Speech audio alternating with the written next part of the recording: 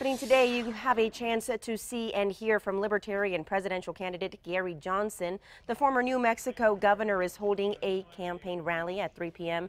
at UNM's Student Union building, and it's open to the public. Johnson's running mate, Governor Bill Weld, will be, be at a town hall in Maine. News 13 will be there in Albuquerque today, and you can have all the complete coverage on KRQE.com and our KRQE News app.